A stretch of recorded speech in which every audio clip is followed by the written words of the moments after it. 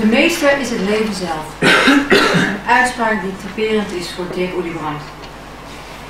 Via zijn eigen levenspad van havenarbeider naar martial arts kampioen, naar therapeut, leraar en directeur van een internationale organisatie, realiseerde hij zijn eigen innerlijke alchemie. En nu, als leider van Life Projects, begeleidt Dirk vele mensen op hun levenspad en in het ontwaken en de weg naar hun eigen ware natuur. Dirk begeleidt inmiddels duizenden mensen, leiders, individuen, teams, organisaties op dit pad. En zijn passie om die wijsheid en eenvoud van de alchemie te delen met velen maakte dat hij het boek schreef Alchemie van Leiderschap. Ik geef graag het woord aan een ware alchemist, Dirk Oedebrand.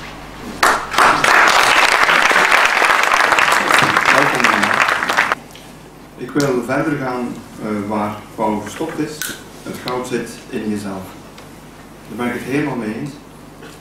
En toch ontmoet ik heel veel mensen die dat niet zo aanvoelen.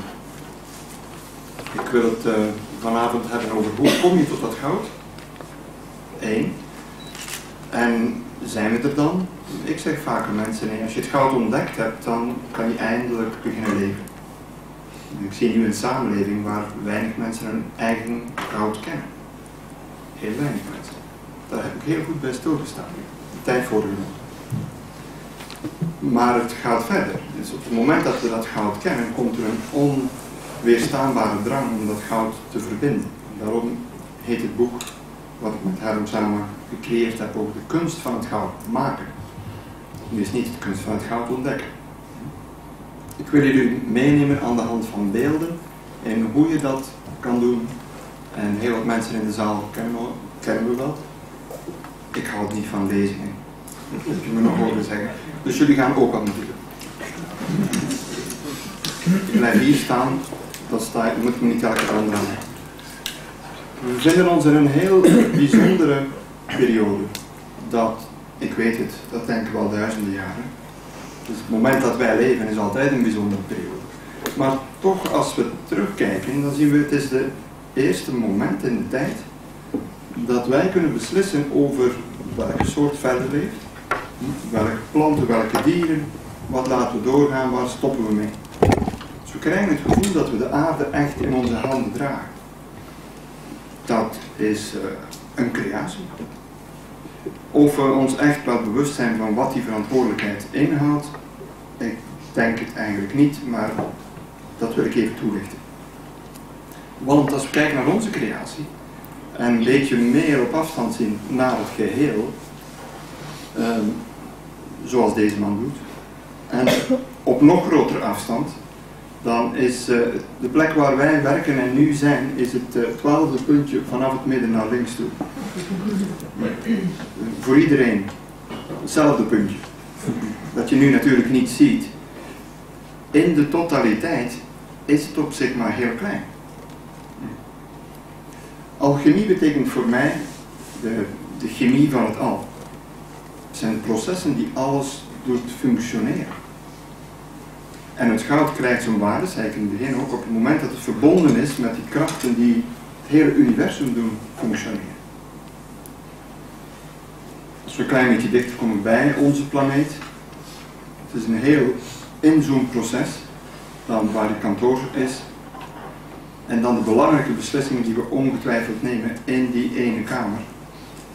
Maar mijn vraag daarbij is, zijn die processen ook verbonden met de chemie van het grote moederbedrijf? De vraag voor vanavond van mij is niet zozeer een vraag, is een uitnodiging. Wij nodigen mensen uit om zich terug aan te sluiten bij het grote moederbedrijf. En de meeste zijn niet ondernemers, maar ik heb het over een bedrijf dat nu, ze weten, minstens van 15 miljard jaar creatief is, winst maakt, effectief functioneert. Ja, dus de natuur, de kosmos. Nu, dat klinkt misschien net iets te mystiek voor jullie, maar dat is wel de basis van alchemie. Laten we dat verder toelichten. De hele reis start met de vraag, de, de essentiële vraag, is dit de essentie? Wat ik nu creëer, is dat de essentie van wat ik wil brengen? En is die essentie die wat ik wil brengen, is dat ook ik zelf? Herhaal hem nog even, dat je hem kan laten aankomen, de essentiële creatie, wat ik daar neerzet, is dat hetzelfde dan mijn eigen essentie.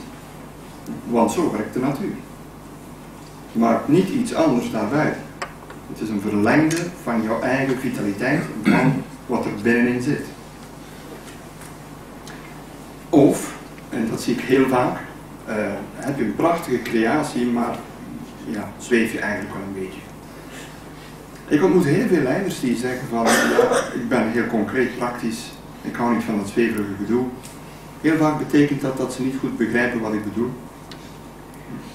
Dat in eerste plaats.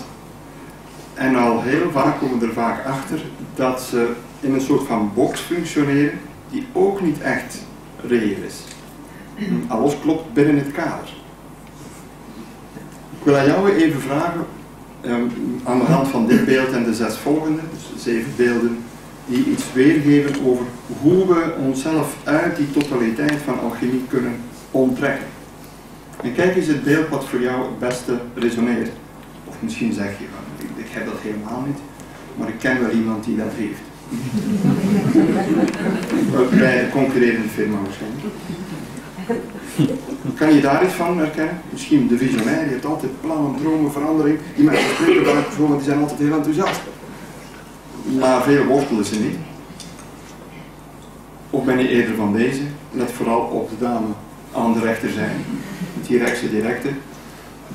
Zit je, zit je in de rat race de hele tijd? Wil je niet, maar je wordt de hele tijd meegesleept daarin.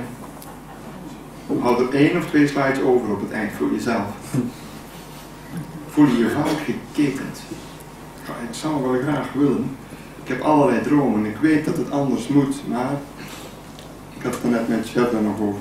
Mensen zeggen, ja, ik denk dat het anders moet, maar dat durf ik niet zeggen hoor. Zoiets. En duurt dat lang, het heeft heel nefast effect. Verwachten jullie uitleg daarbij?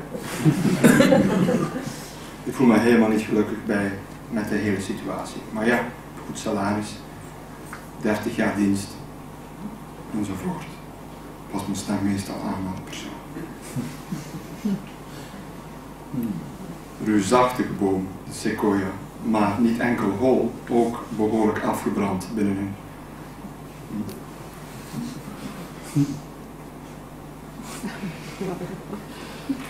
Je zag ik meteen hier en daar grijnzen. en toen dacht je niet aan iemand anders volgens mij. De krachtpatser. Ik kan dat allemaal. Nog een project gooi maar bij. Nou, kom. Ik heb zo in mijn gedachten binnen 25 jaar die, die DG-plek, dat moet haalbaar zijn hoor. Het moet, moet kunnen. Nog 20 treden ongeveer, maar zijn veel ouder en geleidelijker. Iemand die heel de tijd in de toekomst bezig is met de carrière, maar er helemaal niet is op dit moment. Die hoort er niet meer bij. Maar het is wel, wat ik daarmee toon, is elke, elk type, elke uh, vorm waar we in vastzitten, in dat leiderschap, wat niet onze essentie is, zorgt ervoor dat de plek van de ware leider onbezet is. Er zit niemand op de troon op dat moment. Sta er even bij stil voor jou wat de slide was die voor jou past, waar je zelf in kan herkennen. En deel even met de buurman of buurvrouw, en die mag ook achter je, als er niemand is, hoe dat voor jou is. Wissel even uit hoe dat voor jou is.